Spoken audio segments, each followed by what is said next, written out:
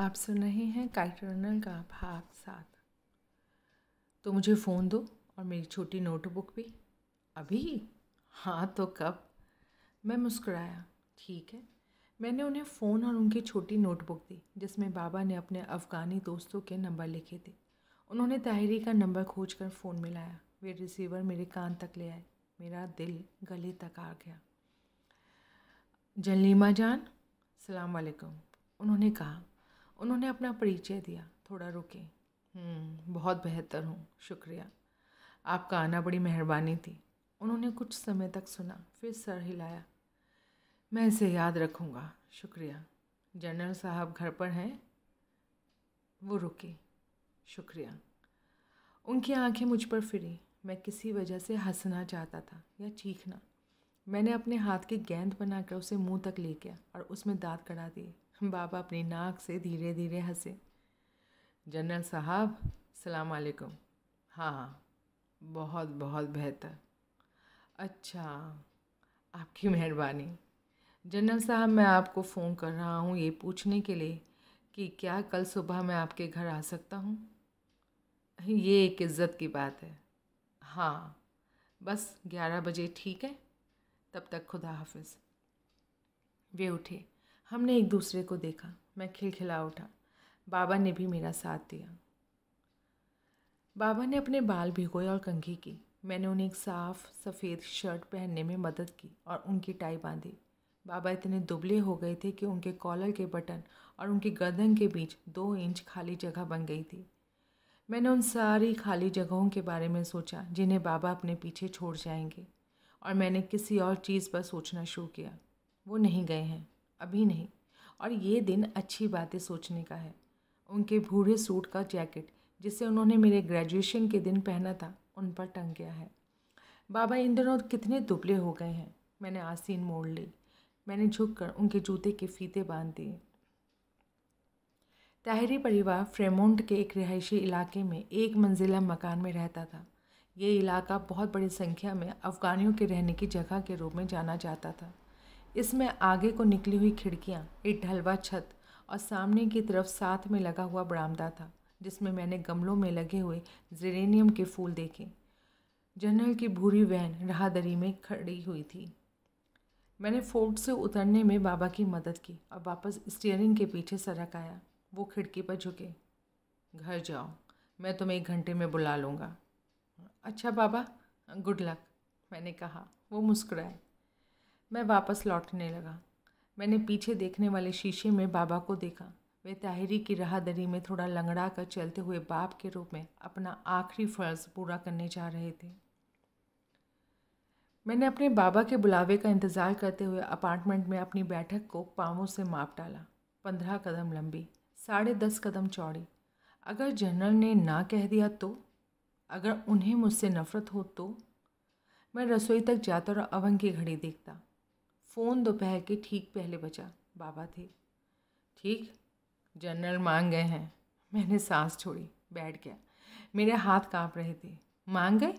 हाँ लेकिन सुरैया जान ऊपर अपने कमरे में है। पहले वो तुमसे बात करना चाहती है।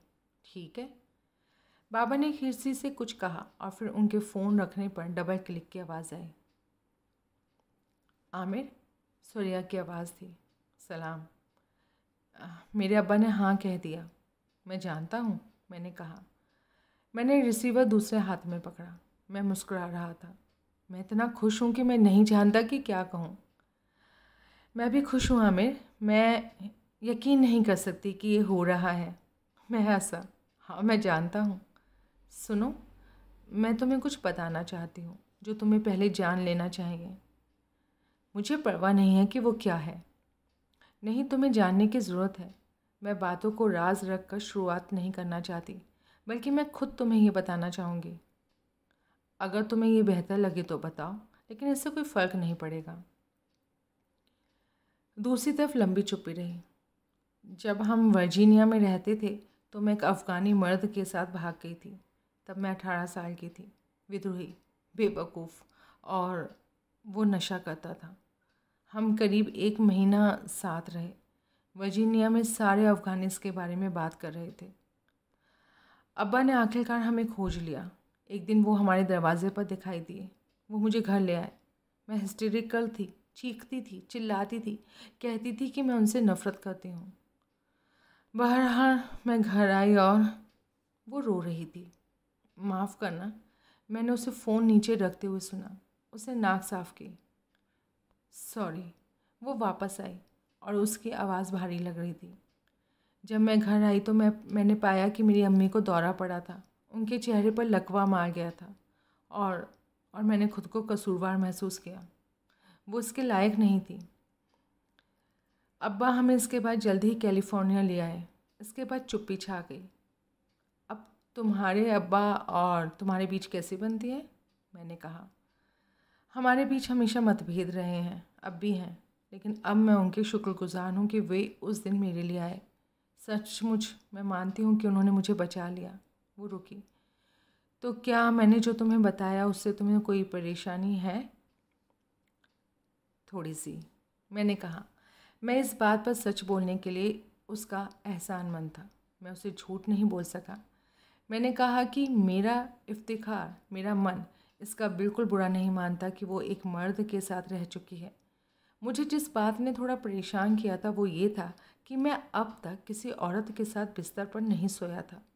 लेकिन मैंने बाबा को रिश्ते के लिए जाने को कहने से पहले हफ्तों तक सोचा था और सबसे आखिर में हमेशा मेरे सामने ये सवाल उठता था कि कैसे मैं या कोई भी किसी को उसके अतीत के लिए सज़ा दे सकता था। क्या तुम्हें इससे इतनी परेशानी हुई है कि तुम अपना मन बदल सकते हो? नहीं सुरैया, इसकी दूर दूर तक कोई गुंजाइश नहीं है, मैंने कहा। तुमने ऐसा कुछ भी नहीं कहा है जिससे कोई फ़र्क पड़े। मैं तुमसे शादी करना चाहता हूँ। और फिर से उसके आँसू फूट पड़े। मुझे उससे जलन हुई, उसका राज खुल गया था। उसने उसे कह दिया था, उसने उसका सामना किया था। मैंने भी अपना मुँह खोला और मैं उसको करीब करीब ये बताने जा रहा था कि कैसे मैंने हसन को धोखा दिया था। झूठ बोला था, उसे निकाल फेंका था और बाबा और अली के चालीस साल के रिश्ते को बर्बाद कर दिया था। लेकिन मैं नहीं बता सका। मुझे शक हुआ कि कई मायनों में सुरैया ताहिरी मुझसे बेहतर इंसान थी। उसमें मुझसे बढ़कर हिम्मत है। अगली शाम जब हम लफ्ज़ के लिए बात पक्की करने की। रस्म के लिए तहरी परिवार के घर पहुँचे तो मुझे अपनी फोर्ड सड़क पर ही पार करनी पड़ी। उनकी राहदरी पहले से ही कारों से भरी हुई थी। मैंने गहरे नीले रंग का सूट पहना था, जिसे मैंने पिछले दिन बाबा को तहरी के घर से ले आने के बाद ख़रीदा था। मैंने कार के शीशे में अपनी टाई की जाँच की। तुम सुंदर लग रहे हो, बाबा ने कहा। शुक्रिया बाबा क्या आप ठीक हैं? क्या आप इसे कर पाएँगे? कर पाऊँगा। ये मेरे जीवन का सबसे खुशियों भरा दिन है, आमिर, उन्होंने कहा। वो थके हुए अंदाज में मुस्कुराए। मैं दरवाजे की दूसरी तरफ़ की बातचीत, हँसी और धीमी बजता अफ़गानी संगीत सुन सकता था। लग रहा था कि उस्ताद सरहंग की क्लासिक गज़ल बज रही है। मैंने घंटी बजाई। कोठरी की खिड़की के दरवाज़ों से एक चेहरा झाँका और गायब हो गया। वो आ गए? मैंने एक औरत की आवाज़ सुनी। बातचीत बंद हो गई। किसी ने गीत बंद कर दिया। खानम तहरीर ने दरवाज़ा खोला। सलाम अलैकुम, उन्होंने चमकते हुए कहा। मैंने देखा कि उन्होंने अपने बालों में घूंघट काटे थे और एक खूबसूरत लंबी काली पोशाक पहनी थी। जब मैंने कोठरी में कदम रखे तो उनकी आँखें भर आईं। तुम अभी घर में दाखिल ही हुए हो और मैं रो रही हूँ, आमिर जान, उन्होंने कहा। मैंने उनके सर को चूम लिया, जैसे बाबा ने पिछली रात मुझे करने को कहा था। वे मुझे एक रोशनी से भरपूर, गलियारे से होते हुए बैठक में ले गईं। लकड़ी के पल्लों वाली खिड़कियों पर मैंने उन लोगों की तस्वीरें लगी देखी, जो अब मेरा परिवार बनने वाले थे। सजे हुए बालों वाली नौजवान खानम ताहिरी और जनरल पीछे नियाग्रा फॉल्स है। खानम ताहिरी एक अंतहीन पोशाक में, जनरल पतले जैकेट और टाई में, उनके बाल पूरे और काले थे। लकड़ी के रोलर कोस्टर पर चढ़ने को तैयार सुरैया अपने हाथ हिलाते और मुस्कुराते हुए।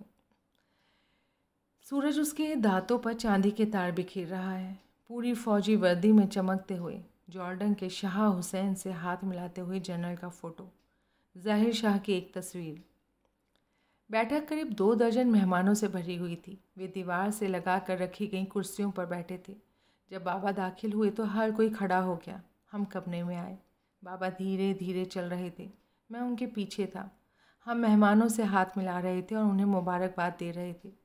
जनरल और बाबा गले मिले। वे अब भी अपने भूरे सूट में थे। उन्होंने एक दूसरे की पीठ पर हल्की थपकियाँ दी। उन्होंने एक दूसरे को दबी आवाज़ में अदब से सलाम कहा। जनरल ने मुझे पूरी बाहों में पकड़ा और जानबूझकर मुस्कुराए मानो कह रहे हों, अब ये इसे करने का सही तरीका है बच्चे, अफ़गानी तरीका। हमने तीन बार गालों को चूमा। हम एक भरे हुए कमरे में बैठे। बाबा और मैं, जनरल और उनकी बीवी के सामने एक दूसरे के पास बैठे।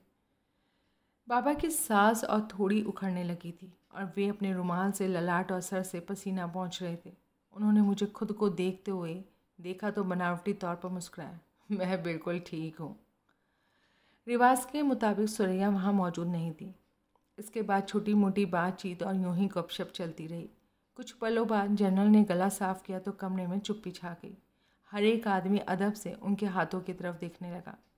जनरल ने बाबा की तरफ़ इशारा किया। बाबा ने अपना गला साफ़ किया। उन्होंने बोलना शुरू किया तो वो बिना रुके कोई वाक्य पूरा नहीं बोल पा रहे थे। वे सांस लेने के लिए बार बार रुकते थे। जनरल साहब, खानम जमीला जान, बड़ी नरमी के साथ कहता हूँ कि मेरा बेटा और मैं आज आपके घर आए हैं, आप इज़्ज़तदार लोग, ख़ास और नामवर ख़ानदानों से हैं और आप लोग आन और बान वाले ख़ानदान से हैं। मैं आपके लिए पूरे एहतराम और बड़े अदब के साथ आया हूँ। आपके परिवार के नाम और आपके पुलखों की याद के नाम। वो रुके। उन्होंने सांस ली और अपनी भौहें साफ़ की। हाँ मेरी जान मेरा इकलौता बेटा है। मेरी अकेली औलाद। और वो मेरा अच्छा लड़का है। मुझे उम्मीद है कि वो आपकी नज़रों पर खड़ा उतरेगा। आप आमिर जान और मेरी इज़्ज़त बढ़ाएँ और मेरे बेटे को अपने परिवार में शामिल करें। जनरल ने नरमी से सर हिलाया। आपके बेटे और आप जैसे शख्स को अपने परिवार में शामिल करते हुए हम आपका स्वागत करते हैं। आपने हमारे घर पर आकर हमारी इज़्ज़त बढ़ाई है, उन्होंने कहा। आपकी शोहरत हमेशा बनी रहेगी। मैं काबुल में आपका तारीफ़दार था और आज भी हूँ। हमारे और आपके परिवार के मिलन से हमारी इज़्ज़त बढ़ी है। तुम्हें आमिर जान, मैं तुम्हें अपने घर पर एक बेटे की तरह, अपनी बेटी के शौहर की जगह जगह दे रहा हूँ। मेरी बेटी मेरे आँखों का नूर है। आज से तुम्हारा दर्द मेरा दर्द होगा। तुम्हारी खुशी हमारी खुशी होगी। मैं उम्मीद करता हूँ कि तुम अब अपनी खाला जमीला को और मुझे अपने दूसरे माँ बाप की तरह ही पाओगे। और हमारी प्यारी सुरैया जान और तुम्हारी खुशी के लिए मैं दुआ करता हूँ। तुम दोनों के साथ हमारी दुआएँ हैं। हर एक ने ताली बजाई और इस संकेत के साथ सबकी निगाहें गलियारे की तरफ़ उठ गईं। ये वो पल था जिसका मैं इंतज़ार कर रहा था। सुरैया दूसरे छोर पर दिखाई दी। उसे लंबी आस्तीन और जरी के काम वाली चमकदार, गहरे, हरे रंग की रस्मी अफ़गानी ड्रेस पहन रखी थी। बाबा ने मेरा हाथ पकड़ा और दबाया। खानम ताहिरी के आँसू फिर से बहने लगे। धीरे धीरे सुरैया हमारे पास आई। उसके पीछे नौजवान रिश्तेदार औरतों का एक जुलूस था।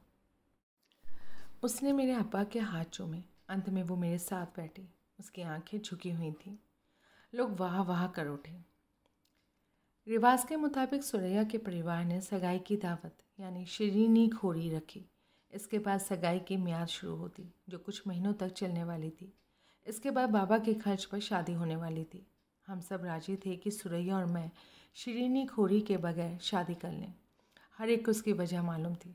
इसलिए असल में इसे किसी को कहना नहीं पड़ा कि बाबा बहुत महीनों तक रहने वाले नहीं थे। जब शादी की तैयारियाँ चल रही थी तो सुरैया और मैं कभी एक साथ बाहर नहीं गए।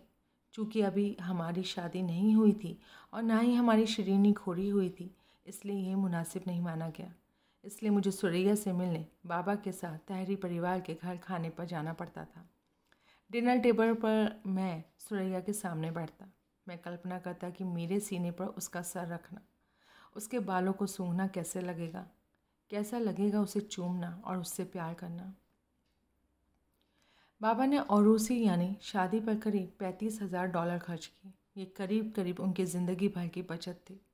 उन्होंने फ्रेमोंट में एक बड़ा अफ़गानी बैंकुट हॉल किराए पर लिया। उस हॉल का, उस हॉल का मालिक बाबा को काबुल से जानता था और उसने किराए में काफ़ी रियायत दी। बाबा ने चिलास, यानी शादी की अंगूठियाँ खरीदी। उन्होंने हीरे की एक अंगूठी भी खरीदी, जिसे मैंने पसंद किया। मैंने जैकेट और निकाह में पहनने के लिए रस्मी हरा सूट खरीदे। शादी की रात जो कुछ भी जोश खरोश भरी तैयारियाँ हुई थी, उनके पीछे सबसे अधिक खानम ताहरी और उनके दोस्तों की मेहनत और दुआएँ थी। उस रात के कुछ पल ही मुझे याद है। मुझे अपनी निकाह याद है। हम एक टेबल के चारों ओर बैठे थे। सुरैया और मैंने हरी पोशाकें पहन रखी थी। ये इस्लाम का रंग है और साथ में ये बसंत और नई शुरुआत का रंग भी है। मैंने सूट पहना था और सुरैया ने, जो टेबल के पास बैठी अकेली औरत थी। लंबी आस्तीनों वाला बुरका पहना था। बाबा, जनरल ताहिरी, जो इस बार जैकेट में थे और सुरैया के अनेक चाचा भी वहाँ मौजूद थे। सुरैया और मैंने नज़रें झुकाए हुए थे। हम गंभीरता से पूरे अदब के साथ केवल बगल से एक दूसरे को देख रहे थे। मुल्ला ने गवाहों से सवाल किए और कुरान की आयतें पढ़ी। हमने अपने खुदा को गवाह मांग कर एक दूसरे को कबूल किया। इसके बाद निकाह नामे पर दस्तखत किए। वर्जीनिया से आए सुरैया के एक मामा शरीफ चाँद खड़े हुए और अपना गला साफ़ किया। सुरैया ने मुझे बताया कि वो अमेरिका में 20 साल से ज़्यादा समय से रह रहे थे। वह आईएनएस के लिए काम करते थे और उनकी बीवी एक अमेरिकी थी, वो शायर भी थे। वे चिड़ियों जैसे चेहरे और नरम बालों वाले एक छोटे कद के इंसान थे। उन्होंने सुरैया के नाम एक लंबी नज़म पढ़ी, जिसे उन्होंने होटल के स्टेशनरी पेपर पर लिखा था। वाह वाह, शरीफ जान। जब उन्होंने नज़म ख़त्म की तो हर एक आदमी बोल उठा, मुझे स्टेज की तरफ़ जाना याद है। अब मैंने अपना जैकेट पहना हुआ था। ढकी हुई सुरैया सफ़ेद परी लग रही थी। हमारे हाथ बंधे हुए थे। बाबा मेरे करीब ही धीरे धीरे चल रहे थे। जनरल और उनकी बीवी अपनी बेटी के करीब चल रहे थे। हमारे पीछे पीछे चाचाओं, मामाओं, चाचियों, खालाओं और रिश्ते के भाइयों का जुलूस हॉल में चल रहा था। चहक रहे मेहमानों का एक समुद्र था। वे कैमरे चमका रहे थे। जब हम एक साथ धीरे धीरे आगे बढ़ रहे थे तो सुरैया के रिश्ते के भाई ने, शरीफ जान के बेटे ने हमारे सिरों के ऊपर कुरान थामे रखा। शादी का गीत आहिस्ता बोरो स्पीकर पर बज रहा था। वही गीत जिसे उस रात जब बाबा और मैंने काबुल छोड़ा था, माहीपुर चेक पोस्ट पर वो रूसी फौजी गा रहा था। सुबह को ताले में बंद कर दो और चाबी कुएँ में फेंक दो। धीरे जाओ मेरे प्यारे चाँद, आहिस्ते जाओ। सुबह के सूरज को पूरब में उगना भूल जाने दो। धीरे जाओ मेरे प्यारे चाँद, आहिस्ते जाओ। मुझे सोफे पर बैठना याद है। उसे स्टेज पर सिंहासन की तरह सजाया गया था। तीन सौ चेहरे हमें देख रहे थे और मैंने सुरैया का हाथ थाम रखा था। हमने आईना मसहफ़ की रस्म अदा की। लोगों ने हमें आईना पकड़ाया और हमारे ऊपर एक चादर डाल दी ताकि हम अकेले एक दूसरे के चेहरे आईने में देख सकें। पल भर के लिए चादर के नीचे मिले अकेलेपन में आईने में सुरैया की मुस्कान देखते हुए मैंने उसके कान में फुसफुसाते हुए पहली बार कहा कि मैं उसे प्यार करता था। शर्म की एक लाल मेहंदी उसके गालों पर खिल उठी। चौपांग कबाब, सोलह गोश्त और जाफरानी रंग के चावलों से भरी रंग बिरंगी प्लेटें सजी थीं। मैंने अपने बीच बाबा को देखा। वे सोफे पर बैठे मुस्कुरा रहे थे। मुझे पसीने में भीगे हुए लोग याद आए हैं। याद हैं, जो तबले की ताल पर तेज़ तेज़ घूमते हुए, उछलते हुए एक घेरे में नाच रहे थे। ये रवायती अत्तान नाच था। वे तब तक नाचते रहे जब तक कि कुछ लोग थकान से गिर नहीं गए। मुझे याद है कि मैं चाह रहा था कि रहीम खान भी वहाँ होते। और मुझे ये भी याद है कि मैं जानना चाह रहा था कि क्या हसन की भी शादी हो गई है? और अगर ऐसा है तो उसने चादर के नीचे आईने में किसका चेहरा देखा होगा? उसके हाथों में मेहंदी रचा हुआ किसका हाथ होगा? रात के दो बजे पार्टी बैंकेट हॉल से बाबा के अपार्टमेंट में चली आई। एक बार फिर चाय का दौर चला। और तब तक गीत बजते रहे जब तक पड़ोसियों ने पुलिस को नहीं बुला लिया।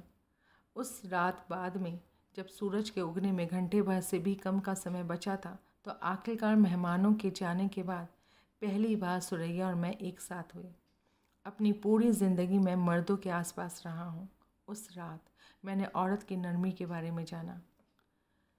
सुरैया ने ही ये राय दी थी कि वो मेरे और पापा के साथ रहेगी। मैंने सोचा कि शायद तुम चाहो कि हम अपनी अलग जगह पर रहें। मैंने कहा, काका जान की बीमारी को देखते हुए? उसने जवाब दिया। उसकी आँखें बता रही थी कि उस तरह से अपनी ज़िंदगी नहीं शुरू की जा सकती। मैंने उसे चूम लिया। शुक्रिया। सुरैया ने अब्बा की देखभाल में खुद को लगा लिया। सुबह मैं, सुबह में वह उनके लिए टोस्ट और चाय बनाती और बिस्तर से उठने में मदद करती। वो उन्हें दर्द की दवाएँ देती। वो उनके कपड़े धोती और हर शाम उन्हें अखबारों का अंतर्राष्ट्रीय पन्ना पढ़कर सुनाती। उसने उनका पसंदीदा खाना आलू शोरबा बनाया। हालाँकि वे कुछ चम्मचों से ज़्यादा मुश्किल से ही खा सके। वो उन्हें ब्लॉक में थोड़ी देर घुमाने के लिए ले जाती और जब वो बिस्तर पर पड़ गए तो वो हर घंटे उनकी करवट बदलती ताकि उन्हें दर्द ना हो जाए। एक दिन मैं फार्मेसी से बाबा की मार्फिन लेने घर लौटा। जैसे ही मैंने दरवाज़ा बंद किया मैंने सुरैया को जल्दी से बाबा की कंबल के नीचे कुछ सड़काते देखा। हे, मैंने देख लिया। तुम दोनों क्या कर रहे थे? मैंने कहा, कुछ भी नहीं। छूटी, मैंने बाबा का कंबल उठाया। ये क्या है? मैंने कहा, हालाँकि जैसे ही मैंने वो चमड़े की जिल्द मड़ी किताब उठाई, मैं जान गया। मैंने अपनी उंगलियाँ सुनहरी सिलाई पर फिराई। मुझे उस रात की आतिशबाजी याद आई, जिस रात रहीम खान ने मुझे ये दी थी। मेरे तेरहवें जन्मदिन की रात।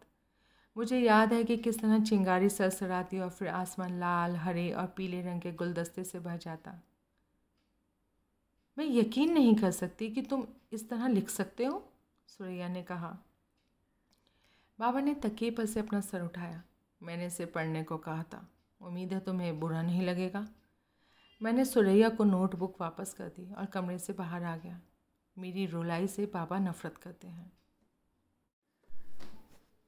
शादी के एक महीने बाद ताहिरी परिवार, शरीफ और उनकी बीवी और सुरैया की दूसरी खालाएँ हमारे घर रात के खाने पर आईं। सुरैया ने पालक और भेड़ के गोश्त वाला चावल बनाया था। खाने के बाद हम सबने ग्रीन टी ली और चार चार के ग्रुपों में ताश खेला। सुरैया और मैंने शरीफ और सूजी के साथ कॉफ़ी टेबल पर खेला, जिसके पास ही कोच पर बाबा ऊनी कंबल ओढ़े सोए हुए थे। वे मुझे शरीफ के साथ मज़ाक करते हुए देख रहे थे। वे सुरैया और मुझको आपस में अपनी उंगलियाँ उलझाकर खेलते हुए देख रहे थे। वे मुझे अपने बालों से एक लट को खींचते हुए देख रहे थे। मैं उनके भीतर की मुस्कान को देख सकता था। वो उन रातों में काबुल के आसमान की तरह चौड़ी थी, जब बेद मजनू सरसराते और बागीचे में झिंगुर के बोलने की आवाज़ प्रसर जाती। आधी रात के ठीक पहले बाबा ने अपने बिस्तर पर जाने के लिए हमसे मदद मांगी। सुरैया और मैंने उनकी बाहें अपने कंधे पर रखी और अपने हाथों को उनकी पीठ के गिर्द कस लिया।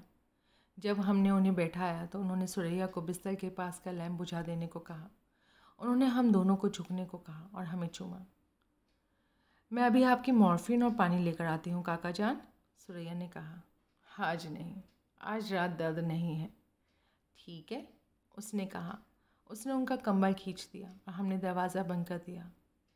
बाबा फिर नहीं जगे।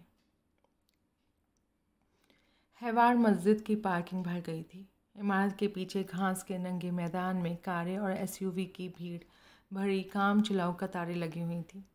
जगह पाने के लिए लोगों को मस्जिद के तीन या चार ब्लॉक उत्तर में गाड़ी लगानी पड़ रही थी।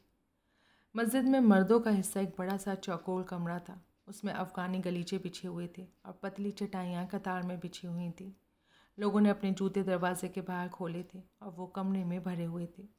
वे पैर मोड़े चटाइयों पर बैठे थे। एक मुल्ला माइक पर कुरान की सूरतें पढ़ रहा था। मैं दरवाजे के पास बैठा था। मरहूम के परिवार के बैठने का यही रिवाज था। जनरल ताहिरी मेरी बगल में बैठे थे। खुले दरवाजे से मैं कारों की कतारों को भीतर आते देख रहा था। धूप उनके शीशों पर चमक रही थी। लोग उनसे उतर रहे थे। मर्द काले सूट में थे। औरतें काले कपड़ों में लिपटी हुई थीं। उनके सर पर रवायती सफ़ेद हिजाब था। कुरान की आयतें कमरे में गूंजने के साथ ही मुझे वो पुरानी कहानी याद आ गई, जिसमें बाबा ने बलूचिस्तान में काले भालू से कुश्ती लड़ी थी। बाबा ने अपनी पूरी ज़िंदगी भालुओं से लड़ाई लड़ी थी। उन्होंने अपनी नौजवान बीवी खो दी थी। उन्होंने खुद से एक बेटे को पाल पोस कर बड़ा किया था। उन्हें अपने प्यारे देश, अपने वतन को छोड़कर आना पड़ा था। गरीबी आई पहले वाली वो शान नहीं रही। आखिर में एक ऐसा भालू आया जिससे वो जीत नहीं सके, लेकिन तब भी वो हारे तो अपनी शर्तों पर हारे। दुआओं के हर दौर के बाद मातम मनाने वालों का एक समूह खड़ा होता और जाते हुए मुझे तसल्ली दे जाता। रस्म के मुताबिक मैंने उनसे हाथ मिलाए। उनमें से कईयों को मैं नहीं जानता था। मैं नरमी से मुस्कुराया और उनकी तसल्ली के लिए उनका शुक्रिया अदा किया। मैं वे बातें सुनी जो उन्होंने बाबा के बारे में कही। तय मायने में, घर बनाने में मेरी मदद की। अल्लाह उन पर रहम करे। किसी ने मेरी मदद नहीं की और उन्होंने मुझे उधार दिया। मुझे काम दिलाया। मुझे तब मुश्किल से ही लोग जानते थे। मेरे लिए मेरे लिए तो वो भाई की तरह थे। उन्हें सुनते हुए मुझे लगा कि मैं जो भी था और जितना भी था, वो बाबा की वजह से था और उन निशानियों की वजह से था जो उन्होंने दूसरे लोगों पर छोड़े थे। अपनी पूरी ज़िंदगी में बाबा का बेटा बना रहा। अब वे चले गए थे। बाबा, अब और मुझे रास्ता नहीं दिखा सकते थे। अब मुझे अपना रास्ता खुद खोजना था। इस विचार ने ही मुझे डरा दिया। इससे, इसके पहले कब्रिस्तान के मुस्लिमों वाले छोटे से हिस्से में मैंने बाबा को कब्र में उतारे जाते देखा था। मुल्ला और दूसरे लोग इस पर उलझ पड़े कि कब्र पर पढ़ने के लिए सही आयत कौन सी थी। इसने बहुत बुरा रूप ले लिया। अगर इसने बहुत बुरा रूप ले लिया होता अगर जनरल तहरीर ने दखल नहीं किया होता। मुल्ला ने एक आयत चुनी। और बाकी लोगों पर एक हिकारत भरी निकाह डालते हुए उसे पढ़ने लगा। शुरू में मैंने लोगों को बेलचे भर भर कर कब्र में मिट्टी डालते देखा। इसके बाद मैं चलाया। फिर मैं कब्रिस्तान के दूसरी तरफ़ चलाया। मैं रेड मेपल की छाँव में बैठ गया। अब मातम पुरसी करने वालों का आखिरी समूह बचा हुआ था और मस्जिद खाली हो गई थी। मुल्ला बच गया था। जिसने माइक निकाल कर रख दी थी और कुरान को हरे कपड़े में लपेट रहा था। जनरल और मैं तीसरे पहर की धूप में खड़े थे। हम सीढ़ियों से उतरे। पीछे झुंड में खड़े लोग सिगरेट पी रहे थे। मैंने उनकी बातचीत के कुछ टुकड़े सुने। अगले हफ़्ते के आखिर में यूनियन सिटी में फुटबॉल का मैच था। सांता क्लारा में एक नया अफ़गानी रेस्टोरेंट खुला था। हम्म, बाबा को पीछे छोड़ते हुए ज़िंदगी आगे बढ़ रही थी। कैसे हो बच्चे? जनरल ताहरीन ने कहा। मैंने कड़े दिल से काम लिया। मैंने उन आंसुओं से जीतने की कोशिश की जो सारा दिन मेरा पीछा करते रहे थे। मैं मैं सुरैया को खोजने जा रहा हूँ, मैंने कहा। ठीक है। मैं मस्जिद के औरतों वाले हिस्से की तरफ़ गया। सुरैया सीढ़ियों पर अपनी अम्मी के साथ खड़ी थी। वहाँ कुछ और औरतें भी थीं जिन्हें मैं ऊपरी तौर पर पहचानता था। वो मेरी शादी में आई थीं। मैंने सुरैया को इशारा किया। उसने अपनी अम्मी से कुछ कहा और मेरे पास आई। क्या हम थोड़ा घूम सकते हैं? मैंने पूछा। ज़रूर। उसने मेरा हाथ पकड़ लिया। हम घुमावदार बजरी बिछी सड़क पर चलने लगे, जिनके किनारे नीची बाढ़ लगी हुई थी। हम एक बेंच पर बैठ गए। कुछ दूरी पर एक अधेड़ जोड़ा, एक कब्र के पास घुटनों के बल बैठकर डेजी फूलों का गुलदस्ता सिरहाने के पत्थर के पास रख रहा था। हम उन्हें देखने लगे। सुरैया? मुझे उनकी कमी महसूस होगी। उसने अपना हाथ मेरी गोदी में रख दिया। बाबा की अंगूठी उसकी उंगली में चमक रही थी। उसके पीछे मिशन बुलवार्ड पर मैंने बाबा के मातम में आए लोगों को गाड़ियों से जाते हुए देखा। जल्दी ही हम भी चले जाएँगे और पहली बार बाबा बिल्कुल अकेले रह जाएँगे। सुरैया ने मुझे अपनी तरफ़ खींच लिया और आखिरकार मेरे आँसू निकल पड़े। चूँकि हमने सगाई के बाद इंतज़ार नहीं किया था और फ़ौरन शादी कर ली थी इसलिए मैंने ताहरी परिवार के बारे में जो जाना, वो शादी के बाद ही जाना। मिसाल के लिए मैंने जाना कि महीने में एक बार जनरल को माइग्रेन का भारी दौरा पड़ता है, जो करीब हफ़्ते भर तक चलता है। जब सिर दर्द का हमला होता है तो जनरल अपने कमरे में चले जाते हैं। वो अपने कपड़े उतार कर बत्तियाँ बुझाते हैं, दरवाज़ा बंद कर लेते हैं और तब तक बाहर नहीं आते जब तक दर्द ख़त्म नहीं हो जाता। उस दौरान कोई भीतर नहीं जा सकता था और ना ही कोई दरवाज़ा खटखटा सकता था। आखिर में वो फिर से अपना भूरा सूट पहने बाहर निकलते। उनमें नींद की और चादरों की गंध बसी होती। उनकी आँखें लाल और सूजी हुई होती। मैंने सुरैया से जाना कि उसने जब से देखा है, जनरल और मिसेस ताहरी को अलग अलग सोते देखा है। मैंने जाना कि वो निर्दयी भी हो सकते हैं। मिसाल के लिए जब मिसेस ताहरी उनके सामने कोरमा रखती तो वे उसमें से एक टुकड़ा काटते और आह भर का तश्तरी सलका देते। खानम ताहरी कहती, मैं तुम्हें कुछ और बना देती हूँ। लेकिन वो उनकी बात को नज़रअंदाज कर देते और रूठ जाते। तब वे रोटी और प्याज खाते। इससे सुरैया को गुस्सा आ जाता और उसकी अम्मी रोने लगती। सुरैया ने बताया कि वो डिप्रेशन कम करने की दवाई लेते। मुझे पता लगा कि उन्होंने अपने परिवार को सरकार से कल्याण के नाम पर मिलने वाले पैसे के भरोसे रख छोड़ा है और अमेरिका में कभी भी कोई काम नहीं किया। वो कोई ऐसा काम करना अपना रसूख गिराना समझते हैं। जो उनकी हैसियत के आदमी के माकूल ना हो। इसके बजाय वो सरकार द्वारा जारी किए गए चेकों को बुनाना अधिक पसंद करते हैं। वो कबाड़ी बाज़ार को महज एक शौक मानते थे, जहाँ वो अपने साथी अफ़गानियों से मिलजुल सकते थे। जनरल मानते थे कि देर सवेर अफ़गानिस्तान आज़ाद हो जाएगा, तब शाह की हुकूमत फिर से कायम होगी और फिर उनकी सेवाओं की ज़रूरत पड़ेगी। इसलिए रोज़ वो अपना भूरा सूट पहनते, अपनी जेब घड़ी में चाबी देते और उस दिन का इंतज़ार करते। मैंने जाना कि खानम ताहरी, जिन्हें मैं अब खाला जमीला कहने लगा था, एक समय काबुल में अपनी सुरीली आवाज़ के लिए मशहूर थी। हालाँकि उन्होंने पेशेवर तौर पर कभी नहीं गाया, लेकिन उनके पास प्रतिभा हुआ करती थी। मुझे पता लगा कि वो लोकगीत, गज़लें और राग भी गा सकती हैं, जो अमूमन मर्द गाया करते हैं। लेकिन जनरल संगीत सुनने को जितना पसंद करते थे, उतना गाने को नहीं। उनके पास अफ़गानी और हिंदी गायकों के क्लासिकल गज़लों के टेपों का अच्छा खासा संग्रह था। लेकिन उनका मानना था कि गायकी का काम कम इज्जतदार लोगों के लिए छोड़ दिया जाना चाहिए। सुरैया ने मुझे बताया कि उसकी अम्मी हमारी शादी के मौके पर गाना चाहती थी। वो केवल एक गीत गाना चाहती थी, लेकिन जनरल ने उन पर अपनी एक निगाह डाली और मामला ख़त्म हो गया। खाला जमीला हफ़्ते में एक बार लॉटरी खेलती थी और रोज़ रात को जॉनी कार्सन का टीवी प्रोग्राम देखती थी। वो अपना दिन बगीचे में अपने गुलाबों जेरेनियम, पोटैटो, वाइन और ऑर्किड्स की देखभाल करते हुए गुजारती जब मैंने सुरैया से शादी की तो फूलों और जॉनी कर्सन को थोड़ा परे कर दिया गया। मैं अब खाला जमीला को नई खुशी था। मैं उन्हें नई खुशी देता था। जनरल के तौर तरीके अनुशासित और व्यवहार कुशल थे। जब मैं उन्हें जनरल साहिब कहता तो वो मुझे कभी नहीं टोकते। लेकिन इसके उलट खाला जमीला ने इसे कभी छुपाया नहीं कि वो मुझे कितना प्यार करती हैं। मैंने उनकी बीमारियों की भयानक सूची सुनी, जिसकी ओर से जनरल ने कब से कान बंद कर रखे थे। सुरैया ने मुझे बताया कि जब से उसकी अम्मी को दौरा पड़ा था, उनके दिल की हर एक फड़फड़ाहट हार्ट अटैक थी। जोड़ों का हर दर्द गठिया था, आँख की हर फड़कन लखवे का एक और दौरा थी। मुझे याद है कि जब खाला जमीला ने मुझसे पहली बार अपने गले की सूजन का ज़िक्र किया था, मैं कल स्कूल नहीं जाऊँगा और आपको डॉक्टर के पास ले चलूँगा, मैंने कहा था। जनरल इस पर मुस्कुराया, बोले, तब तुम्हें अपनी किताबों को उठाकर रख देना पड़ेगा, बच्चे। तुम्हारी खाला की बीमारियों की सूची रूमी की शायरों जैसी है। वो भी अनेक वॉल्यूम्स में आती है। लेकिन बात महज इतनी नहीं थी कि उन्हें अपनी बीमारियों के बारे में बात करने के लिए कोई मिल गया था। मुझे पक्का यकीन है कि अगर मैं राइफ़ल उठाकर किसी को जान लेने जा रहा होता, तब भी मेरे लिए उनके एकाध प्यार में कमी नहीं होगी। क्योंकि मैंने उनके मन को उनकी सबसे गंभीर बीमारी से निजात दिला दी थी। मैंने उन्हें हर एक अफ़गान माँ के सबसे बड़े डर से राहत दिला दी थी।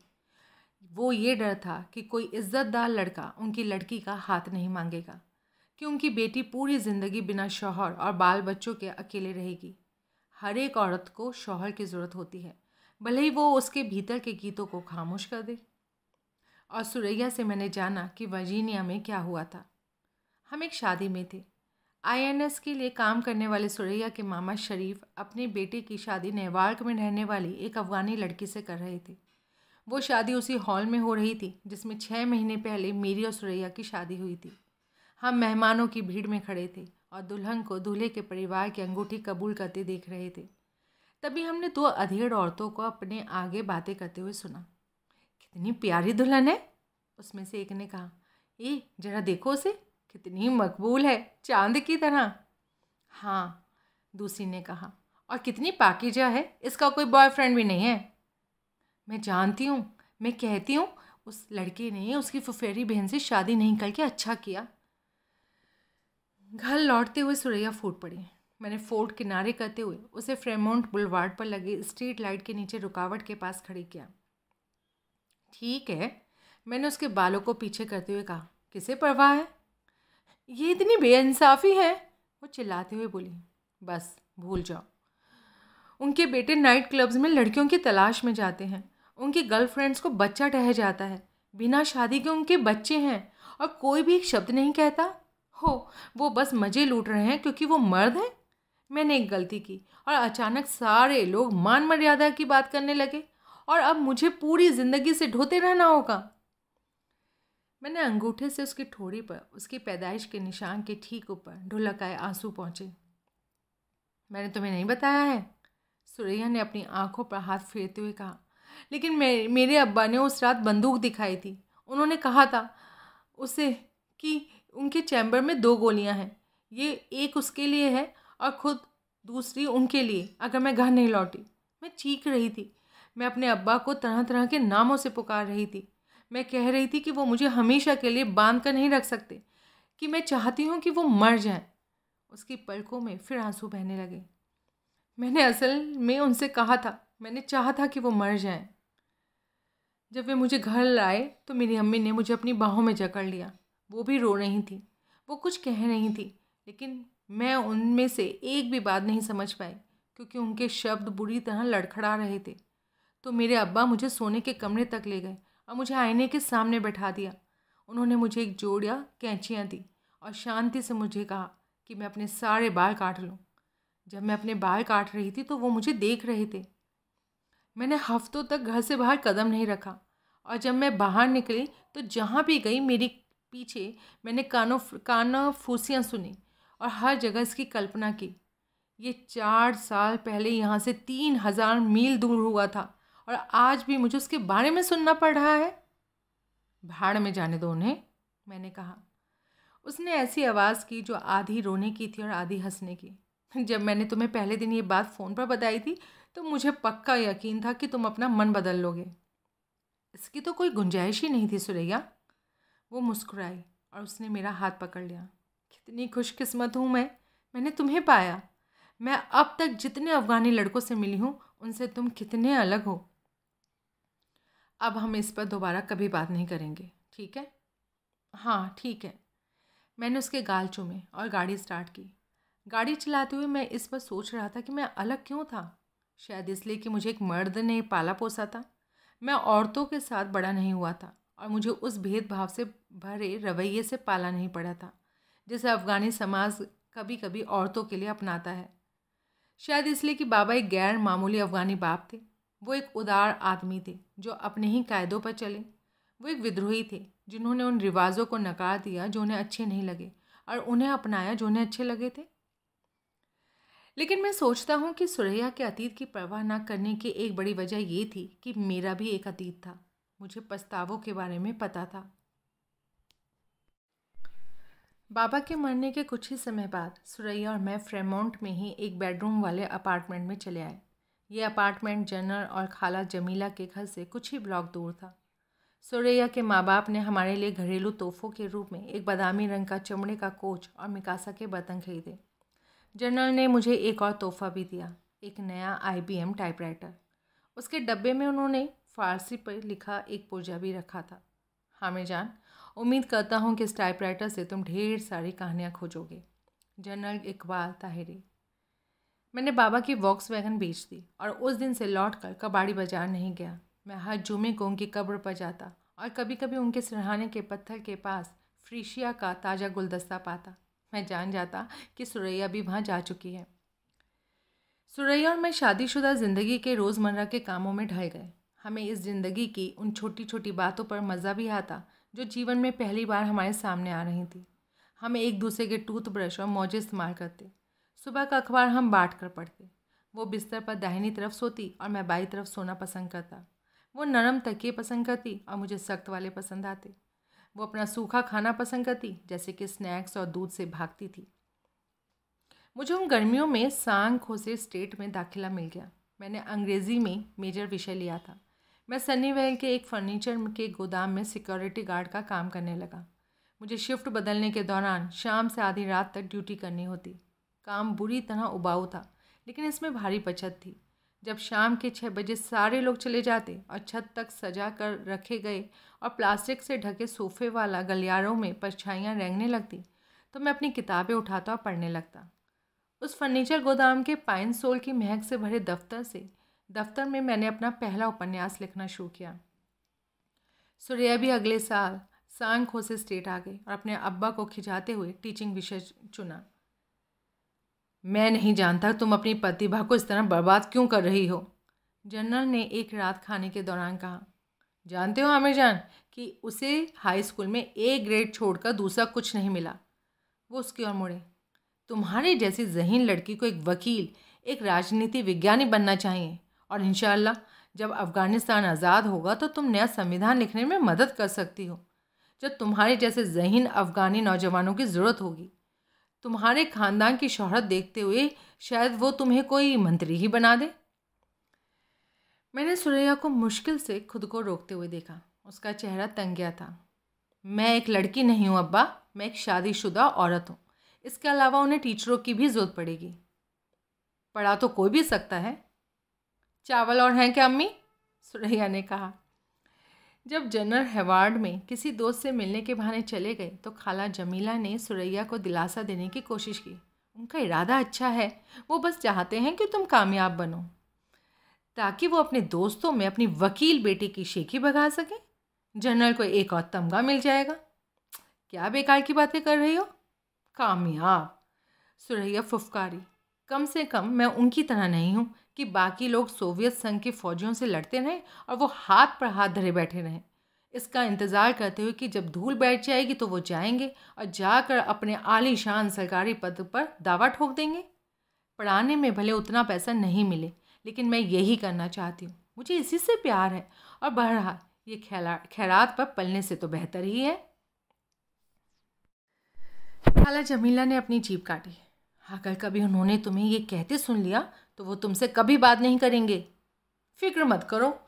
उसने अपनी नैपकिन तश्तरी में उछाल दी। मैं उनके बेशकीमती अहंकार को चोट नहीं पहुंचाऊँगी। 1988 की गर्मियों में सोवियत संघ के अफ़गानिस्तान छोड़ने से छः महीने पहले मैंने अपना पहला उपन्यास पूरा किया। ये काबुल के एक बाप बेटे की कहानी थी। इसे मैंने अधिकतर जर्नल के दिए हुए टाइपराइटर पर टाइप किया था। मैंने दर्जन भर एजेंसियों को लिखा था। और अगस्त महीने में एक दिन मैं दंग रह गया। जब मेल बॉक्स खोला तो पाया कि न्यूयॉर्क की एक एजेंसी ने मेरा पूरा उपन्यास मांगा था। अगले दिन मैंने उसे उपन्यास भेज दिया। सुरैया ने सावधानी से मोड़े हुए उपन्यास को चूमा और खाला जमीला ने ज़िद की कि हम इसे कुरान के भीतर रखें। उन्होंने मुझे बताया कि वो मेरे लिए नज़र करने जा करने जा रही हैं।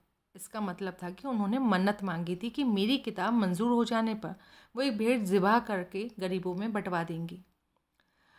प्लीज़ खाला, नज़र नहीं, मैंने कहा। मैंने उनका चेहरा चूम लिया। बस जक़ात दे दीजिए, किसी ज़रूरतमंद को रकम दे दीजिए, ठीक है? भेड़ की जान मत लीजिए।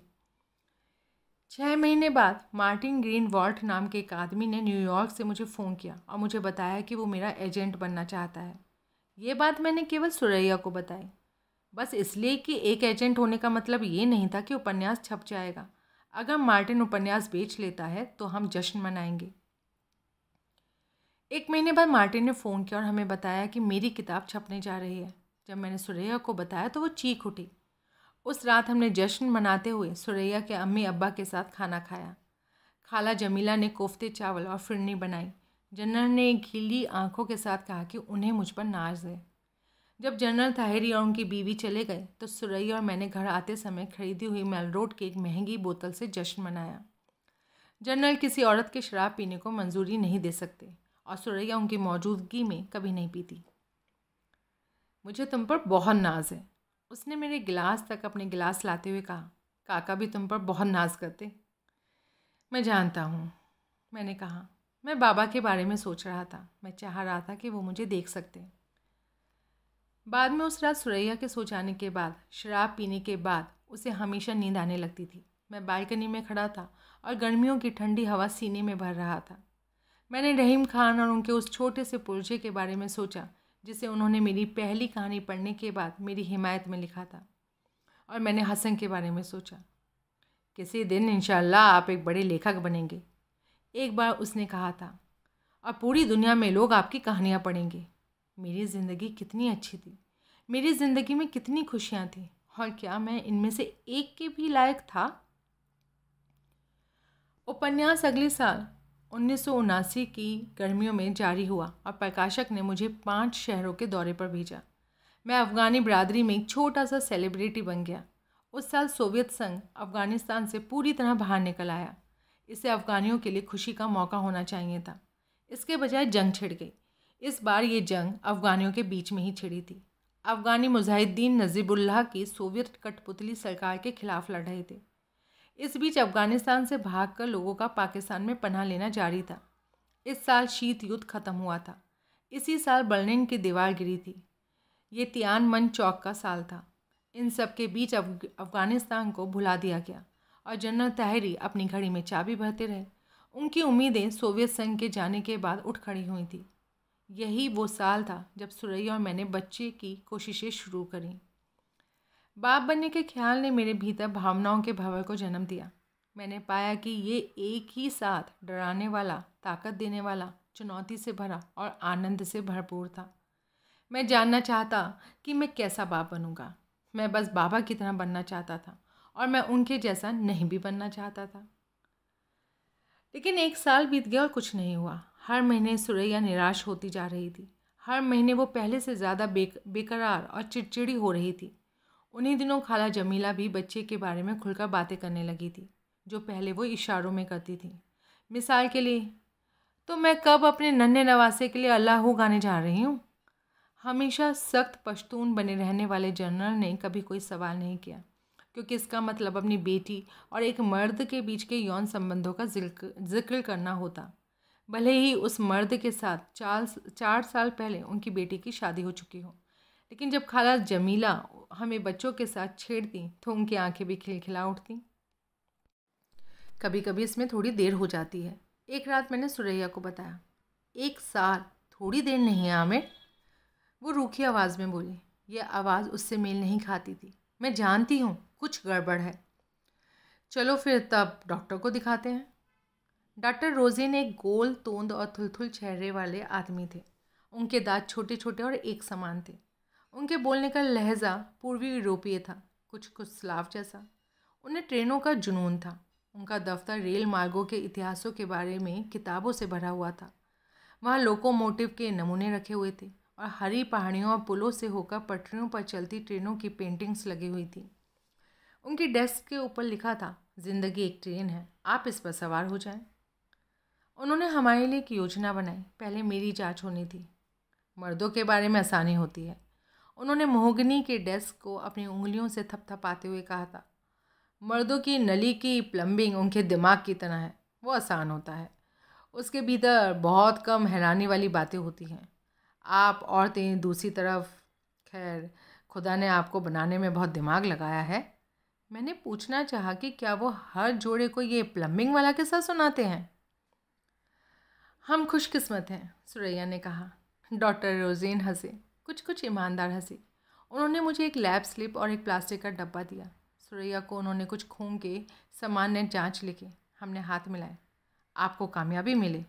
हमारे निकलते समय उन्होंने कहा, मैं बेदाग निकल आया।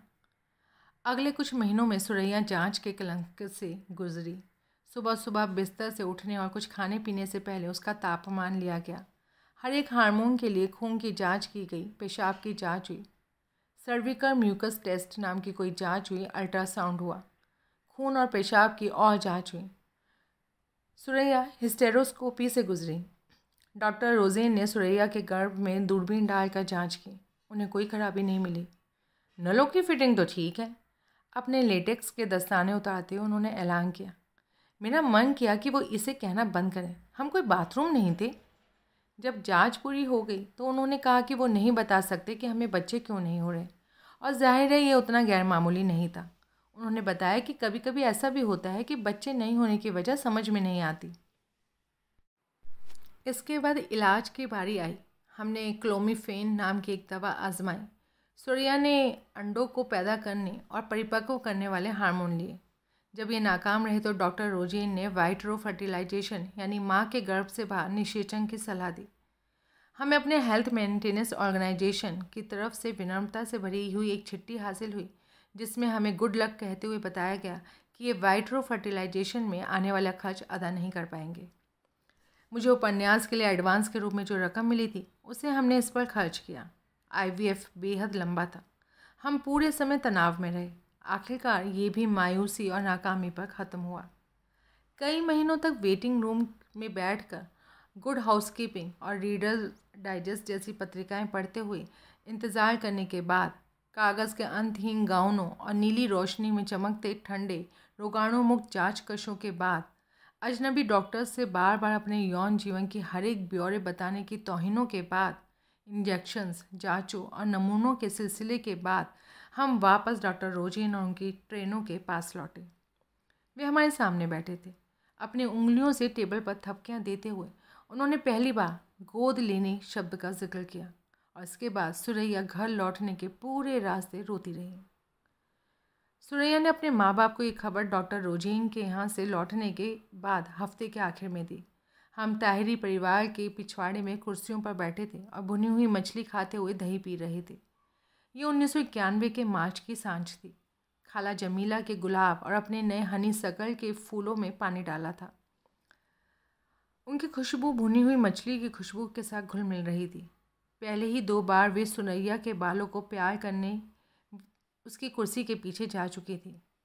खुदा बेहतर जानता है बच्ची, हो सकता है इसमें उसकी कोई मर्ज़ी हो। सुरैया नज़र नीचे किए हुए अपनी हथेली को देखती रही। वो थक चुकी थी। मैं जानता था कि वो इन सबसे बिल्कुल थक चुकी थी।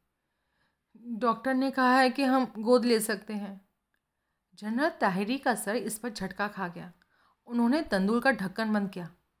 क्या कहा डॉक्टर ने? उसने कहा कि यही एक उपाय है, सुरैया ने कहा। हम घर पर गोद लेने के बारे में बात कर चुके थे। सुरैया इसको लेकर भारी ऊहापोह में थी। मैं जानती हूँ कि ये अनाड़ीपना है और हो सकता है कि ये घमंड हो। उसने अपने मायके जाते हुए मुझसे ये बात कही, लेकिन मैं इसमें साथ नहीं दे सकती। मैंने हमेशा सपना देखा है कि मैंने उसे बाहों में ले रखा है, कि उसे मैंने नौ महीने तक अपना खून पिलाया है, कि मैं एक दिन उसकी आँखों में देखूँगी और तुम्हें या खुद को देखकर हैरान रह जाऊँगी कि मेरा बच्चा बड़ा होगा, वो तुम्हारी या मेरी तरह मुस्कुराएगा। उसके बिना क्या ये बुरी बात है? नहीं, मैंने कहा, क्या ये मेरी खुदगर्जी है? नहीं सुरैया क्योंकि अगर तुम सचमुच ऐसा करना चाहते हो, नहीं, मैंने कहा, अगर हम ऐसा करने जा रहे हैं तो हमें इसके बारे में कोई भी संदेह नहीं होना चाहिए।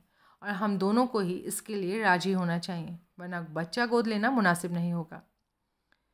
उसने खिड़की पर सर टिका दिया और बाकी रास्ते कुछ नहीं बोली। अब जनरल उसके बगल में बैठे। बच्चे ये गोद लेना, ऐसी चीज़ें। मुझे उतना यकीन नहीं है कि ऐसी चीज़ें हम अफ़गानियों के लिए हैं। सुरैया ने मेरी तरफ़ उकता कर देखा और आह भरी दूसरी बात यह है कि वो बड़े होते हैं तो जानना चाहते हैं कि उनके कुदरती माँ बाप कौन हैं, उन्होंने कहा। तुम उन्हें दोष भी नहीं दे सकते। कभी कभी ऐसा भी होता है कि जिन्हें तुम इतनी मेहनत से पाल पोस कर बड़ा करते हो, वो उन लोगों की तलाश में घर तक छोड़ देते हैं जिन्होंने उन्हें ज़िंदगी दी थी। खून एक ताकतवर चीज़ है बच्चे, ये बात कभी मत भूलो। मैं इस पर और बात नहीं करना चाहती, अब्बा, सुरैया ने कहा। मैं एक बात और कहूँगा, मैं बता सकता हूँ कि वो अपने हमले तेज़ कर रहे थे। हम अब जनरल का छोटा सा भाषण सुनने वाले थे। यहाँ, आमिर जान को लो, हम सब उसके अब्बा को जानते हैं। मैं जानता हूँ कि काबुल में उसके दादा और उनके पहले उसके परदादा क्या थे। अगर तुम पूछो तो मैं यहाँ बैठे बैठे उसके पुरखों की पीढ़ियों के बारे में बता सकता हूँ।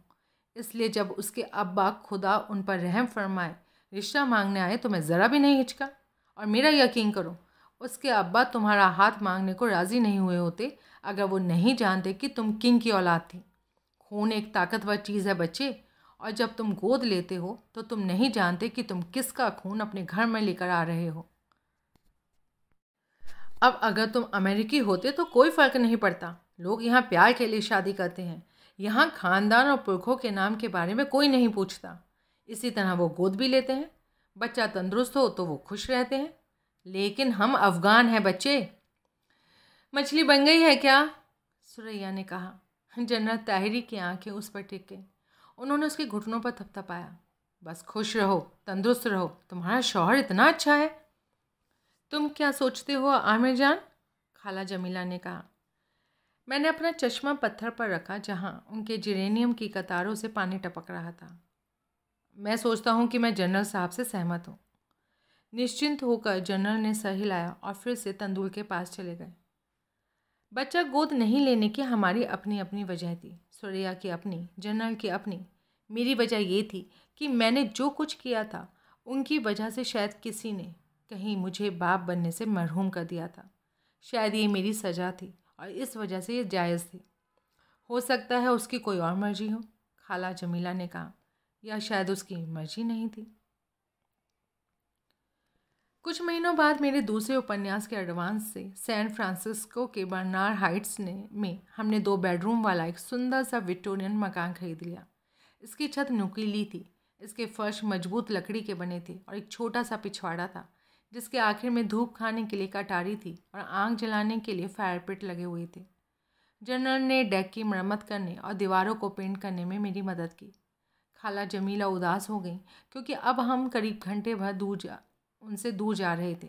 ख़ास तौर से इसलिए कि उन्हें लगता था कि सुरैया को उनके प्यार और सहारे की ज़रूरत थी। वे इस बात से अनजान थी कि उनकी नेक नीयत, लेकिन ज़रूरत से ज़्यादा हमदर्दी की वजह से सुरैया वहाँ से दूर आना चाहती थी।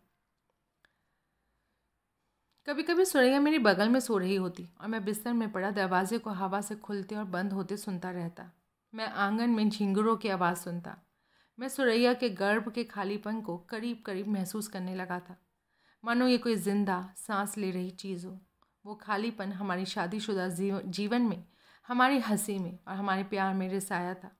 और देर गई रातों में हमारे कमरे में, अंधेरे के बीच में मैं महसूस करता कि ये सुरैया के भीतर से उठ रहा है और हमारे बीच जगह बना रहा है।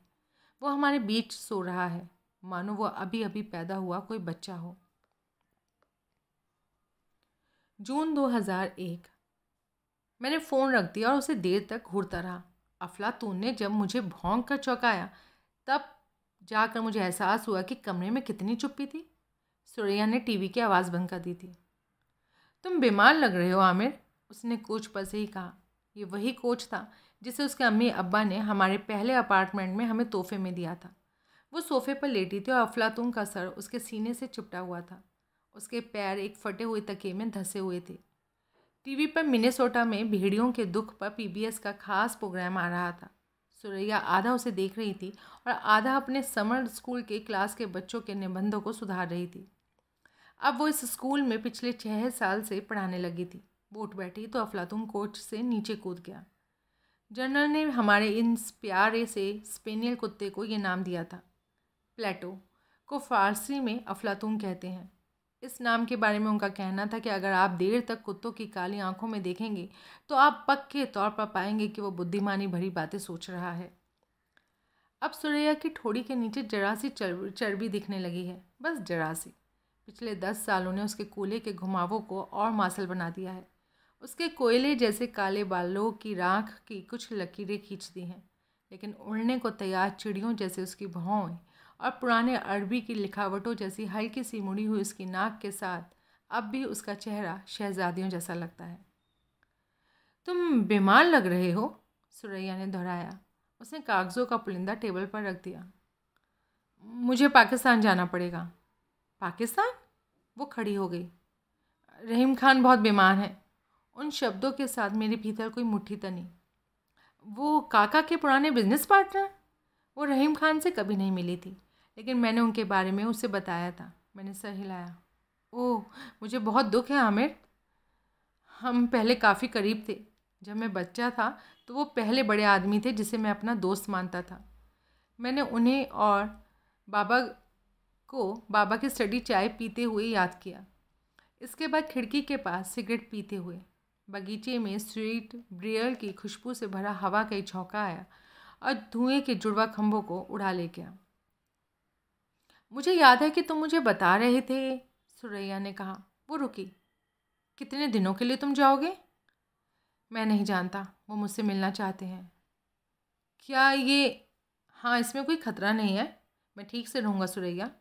यही सवाल वो पूछना चाहती थी। शादीशुदा ज़िंदगी के पंद्रह सालों में हम एक दूसरे का मन पड़ने लगे थे। मैं थोड़ा घूम कर आता हूँ। क्या मुझे तुम्हारे साथ चलना चाहिए? नहीं, मैं अकेले जाना चाहूँगा, बिल्कुल। मैं गाड़ी से गोल्डन गेट पार्क तक गया और उसके बाद स्प्रेकल्स लेक के साथ साथ पार्क के उत्तरी छोर तक गया। ये इतवार के दिन की एक खूबसूरत दोपहर थी। धूप पानी पर चमक रही थी। जहाँ दर्जनों छोटी नावें सैन फ्रांसिस्को की ताज़ी हवा के हल्के झोंकों के साथ तैर रही थी। मैं एक बेंच पर बैठ गया। मैंने एक आदमी को अपने बेटे के लिए फुटबॉल उछालते देखा। वो उसे बता रहा था कि वो गेंद को बगल से ना फेंके, उसे अपने कंधों के ऊपर से फेंके। तब मेरी नज़र ऊपर उठी और मैंने पाया कि लंबी नीली पूंछ वाला लाल पतंगों का एक जोड़ा आसमान में उड़ रहा है। वे पेड़ों के बहुत ऊपर, पार्क के पश्चिमी छोर पर उड़ रहे थे। वे पार्क के मगरबी छोर पर खड़े पेड़ों और पवन चक्कियों के ऊपर नाच रहे थे।